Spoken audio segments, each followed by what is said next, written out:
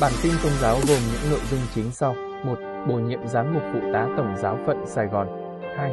Bổ nhiệm giám mục giáo phận Thái Bình. 3. Giáo phận Con Tum, Linh mục Tĩnh Tâm Năm. 4. Đức Thánh Cha Francisco Tông Du đến Ba Lành. 5. Làm tôi tiền của. Ngày 1 tháng 11 năm 2022, Đức Tổng giám mục Marek Zaleki, sứ thần tòa thánh tại Singapore kiêm đại diện tòa thánh không thường trú tại Việt Nam thông báo. Đức Thánh Cha Francisco đã bổ nhiệm linh mục Giuse Bùi Công Trắc, linh mục thuộc Tổng giáo phận thành phố Hồ Chí Minh, làm giám mục phụ tá Tổng giáo phận này, hiệu tòa Asenaria. Linh mục Giuse Bùi Công Trắc đã đảm trách chức vụ giám đốc đại chủng viện Thánh Du Xe Sài Gòn. Ngày 29 tháng 10 năm 2022, Đức Tổng giám mục Marek Zalekin, sứ thần tòa thánh tại Singapore kiêm đại diện tòa thánh không thường trú tại Việt Nam thông báo. Đức Thánh Cha Francisco đã chấp thuận cho Đức Cha Phê Dụ Nguyễn Văn Đệ đảm nhiệm sứ vụ giám mục chính tòa giáo phận Thái Bình, đồng thời bổ nhiệm Cha Đa Minh Đặng Văn Cầu, linh mục thuộc giáo phận Thái Bình, làm giám mục chính tòa giáo phận Thái Bình.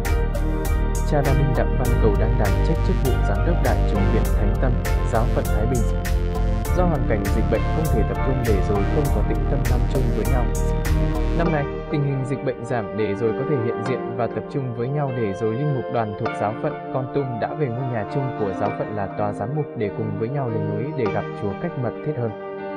Từ chiều tối ngày 24 tháng 10 đến ngày 28 tháng 10 năm 2022 là tuần tĩnh tâm năm của linh mục đoàn thuộc giáo phận Con Tum. Khai mạc kỳ tĩnh tâm với giờ chầu thánh thể thật trang nghiêm và sốt sắng. Sau đó, quý linh mục và phó tế được Đức cha Justin Đức Đạo, nguyên giám mục giáo phận Xuân Lộc, đưa cộng đoàn lên núi với Chúa. Vào lúc 4 giờ 36 chiều ngày 3 tháng 11 năm 2022, theo giờ ba máy bay của hãng hàng không ITA chở Đức Thánh Cha và đoàn tháp tùng đã hạ cánh xuống sân bay xa khi cách thành phố A Ali 5,5 km về phía nam tây nam. Đức Thánh Cha đã được chào đón theo nghi lễ dành cho một vị nguyên thủ quốc gia và bắt đầu chuyến viếng thăm với cuộc gặp gỡ quốc vương Bà Rành. Ra khỏi máy bay, Đức Thánh Cha được quốc vương, thái tử và thủ tướng của Ba Lan cùng với ba người con khác và một người cháu của quốc vương đón tiếp.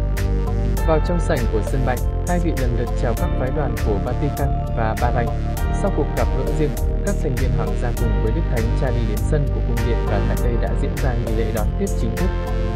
Tại sân của cung điện hoàng gia có khoảng 1.000 người hiện diện, bao gồm các nhà chức trách chính trị và tôn giáo, ngoại giao đoàn và các đại diện xã hội dân sự. Quốc thiều của Vatican và Ba Lan được đoàn quân nhạc trình bày giữa 21 phát đại bác được bắn để chào đón Đức Thánh Cha. Đức Thánh Cha và Quốc vương Ba Lan cùng duyệt qua đoàn quân danh dự. Sau nghi thức chào đón, Đức Thánh Cha gặp gỡ các cấp chính quyền, xã hội dân sự và ngoại giao đoàn.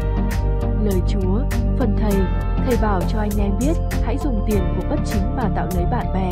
Phòng khi hết tiền hết bạc, họ sẽ đón rước anh em vào nơi ở vĩnh cửu.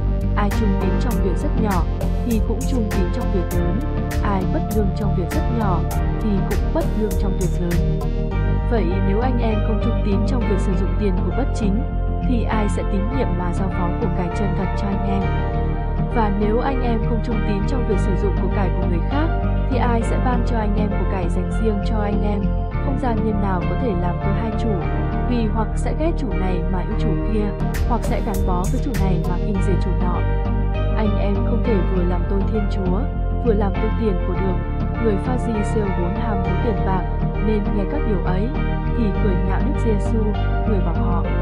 Các ông là những kẻ làm ra bộ công chính trước mặt người đời, nhưng Thiên Chúa thấu biết lòng các ông, bởi vì điều cao trọng đối với người đời lại là điều ghê tởm trước mặt Thiên Chúa.